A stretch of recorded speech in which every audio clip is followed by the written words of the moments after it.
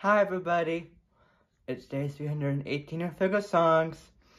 I'm going to do three variations of the hymn, Do What Is Right.